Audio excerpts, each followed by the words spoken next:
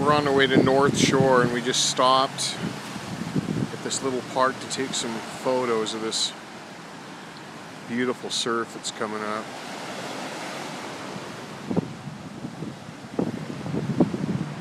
Absolutely beautiful here.